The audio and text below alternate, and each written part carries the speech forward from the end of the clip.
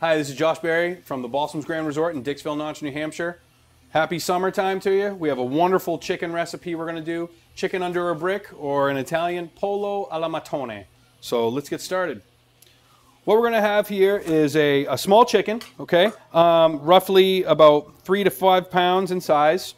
We're going to break this chicken down into two parts, the breast and the, th and the leg on one side and the breast and leg on the other side.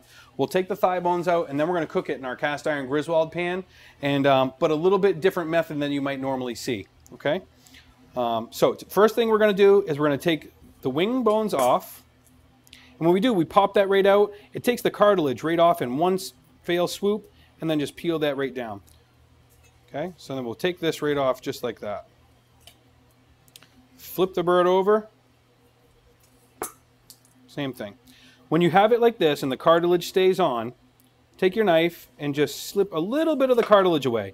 Just so you can see the wing bone right there, and then you can take your thumb and do the same thing that I just did with this one and just push it right down.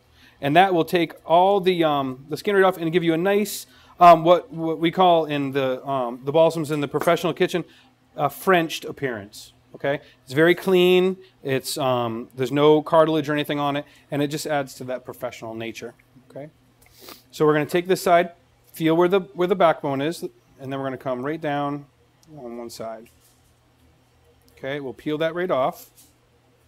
Okay, we're going to come to the um, the thigh bone right here, right on the inside, and you just want to pop that thigh bone right out. See that? We'll cut right around the bone.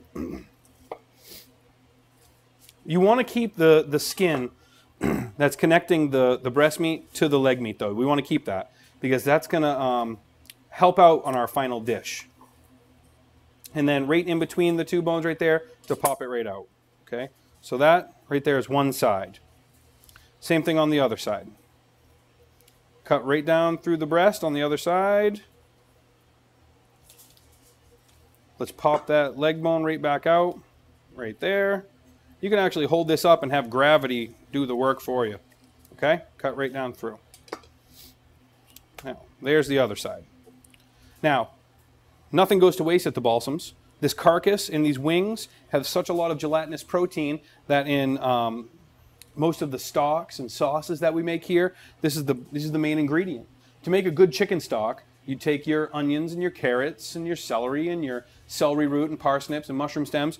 You'd, you'd get that with a nice roasted chicken carcass, put that in, cover it with water, throw in the chicken wings, let it cook for about 45 minutes to an hour.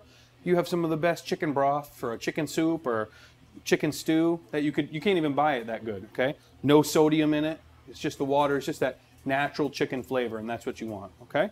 So we're going to put that aside.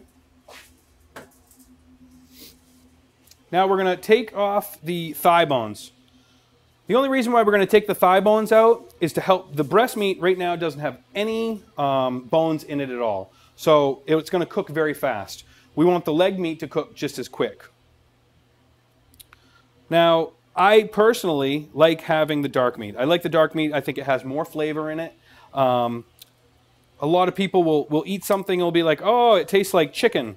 Uh, well, you're associating that with the chicken breast, which doesn't have a lot of flavor in it from store-bought chicken. If you buy a nice free-range chicken or a naturally raised chicken, it'll have so much more flavor in it. So I encourage you to outsource and find local ingredients like we use at the Balsams or um, find an, an organic free-range hen or something like that. So much more flavorful. Very true chicken.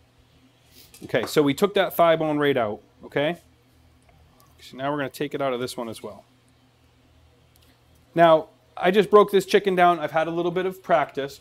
But I broke this chicken down in less than, you know, three minutes. So for you to do this at home, to get a chicken and to do this at home, it's so much cheaper, okay? You get, like we talked about, the benefit of having the carcass for the stock and everything like that. And you're, you're utilizing uh, a lot more product. You get a lot more for your money. So there we go. And now we know exactly what it is.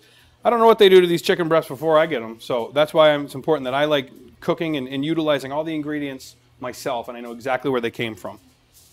Now, I told you we are going to cook this a little bit differently, and this is what I mean. Pollo alla mattone, or chicken under a brick. that's exactly what this is. This is just a normal masonry brick. Um, nothing special about it. Um, we got it from, uh, I think outside the lawn out here. I'm joking. No, we went to the hardware store and got this brick. But what we're going to do here is we're going to wrap it in aluminum foil.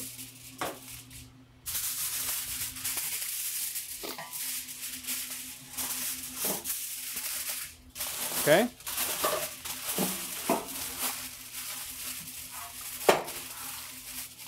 So we say nice and sanitary. So we have this nice heavy brick wrapped in here. Okay. And we have our nice cast iron pan, hot, ready to go. We're going to flip our chicken over. Season it with some kosher salt, cracked black pepper. We're going to add a little bit of oil to our pan. And we're going to put in our chicken.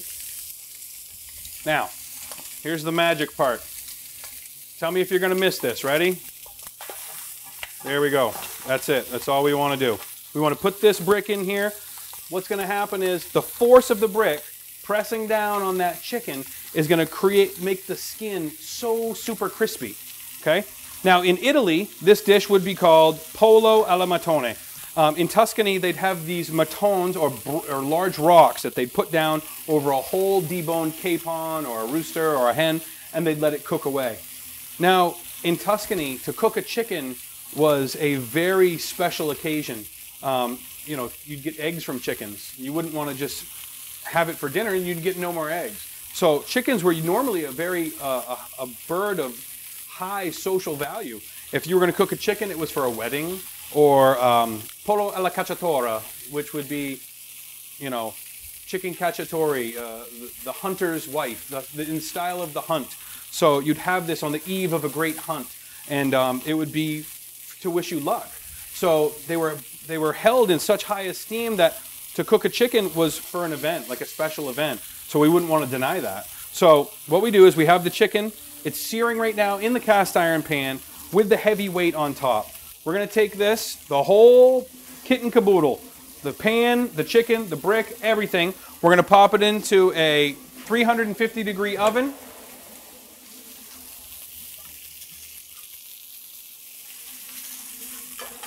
Okay. And we're going to let that cook for about 12 to 15 minutes. Probably closer to 10 to 12 minutes that bird wasn't so thin, and we still want to have it a little bit juicy, okay? Now we're going to start cooking our vegetables for the dish. The vegetables we're going to serve with our, uh, with our pressed chicken um, are, like I said before, I want to use very seasonal product, very local products that we get. Uh, at the Balsams, we outsource a lot of our stuff from farmers markets, local New England. We try to stay within like a 250, 300 mile radius here um, when we buy stuff for the Balsams. We have some nice, wonderful local Swiss chard here, and um, we use a lot of local native corn at the balsams. Um, so I'd like to incorporate both of those into our summertime dish. Okay. All right. So we have a nice hot saute pan, a little bit of olive oil. What I have here is some of our house-made bacon. These are lardoons, which uh, means the bacon's been cut, it's been blanched first in water. That renders off some of the beef, and then it gets roast um, and it just gets a, a, wonderful crisp texture. So we're going to add a little bit of our bacon lardoons in. Okay. We're going to add some of our sweet corn, just raw corn, cut off the cob. But that natural cornstarch in there is going to help thicken our sauce.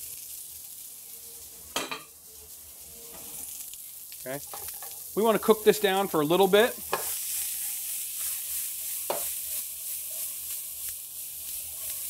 Okay.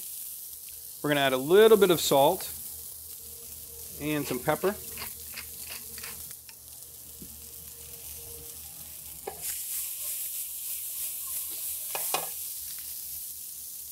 Oh, wonderful flavor. Now I'm going to add a little bit of chicken stock.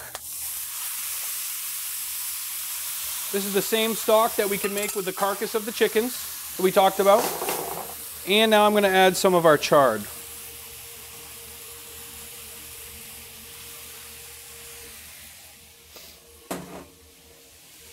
Okay. We're just going to let that braise down in a little bit of our stock. Okay.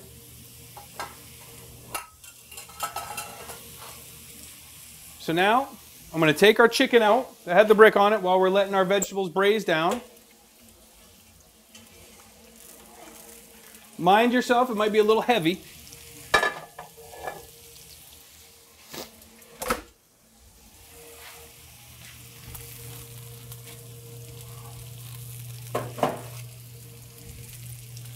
Okay, we can tell how flat this has been over here. Okay. Look at that. Golden brown. It's been nice and pressed. Okay. All these natural juices in here. This is what we're to have make our sauce with. Okay. Now, remember this Griswold pin's very hot. Just came out of an oven. So we're to so always use your handle when you're holding on to it. Okay. We want to keep the chicken in. We're to make the chicken in the same pan. So it's a it's like, like a one pot thing. So we got this hot here. I'm going to take a little bit of lemon zest, fresh lemon zest, add that right inside. And I have some fresh thyme from the, uh, the Apprentice Herb Garden. We're going to add that right in there. Some balsam Chardonnay, just a splash. And we're going to finish off with a little ladle of our chicken stock.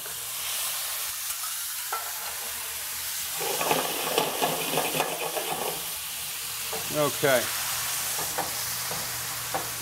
So we want to just incorporate all those great flavors right there. Okay. Now we're going to take this and we're just going to baste this right over our chicken.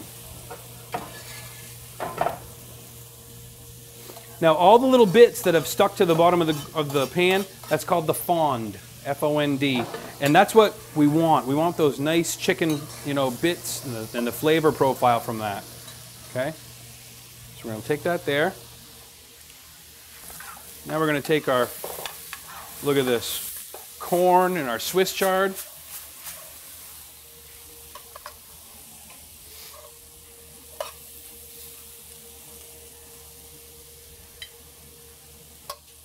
Okay.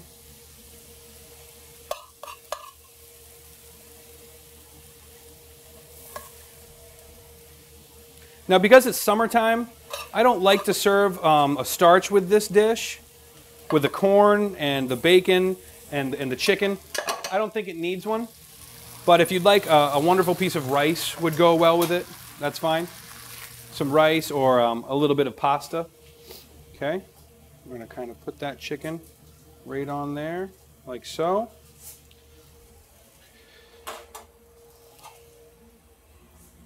And then to finish off the dish, I'm to take a little bit of butter. Okay? Just mix it in. Just mix a little bit of butter in with the remaining chicken stock that was in there.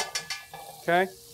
And what this chicken stock do, does, because of um, it being made so fresh, um, store-bought chicken stock, you won't have the same kind of sauce consistency, okay? Um, so really making your own chicken stock is really going to make, look at this wonderful pan sauce that we have here. Okay. Look at that dish. Beautiful dish. Great summertime dish right here. Um, the pollo alla mattone, chicken under a brick. Beautiful sauteed summer corn the Swiss chard, the bacon lardoons, and then finish with the lemon thyme sauce. That, that natural chicken stock flavor in there. It's a beautiful dish. Have this with a, a nice light salad for a starter. Great summertime dish right there. Uh, I'd like to say thank you. You've been watching. Uh, my name is Chef Josh Berry from the Balsams Grand Resort in Dixville Notch, New Hampshire. And I can't wait to cook for you next season. So we'll see you then. Enjoy the summer. Thanks.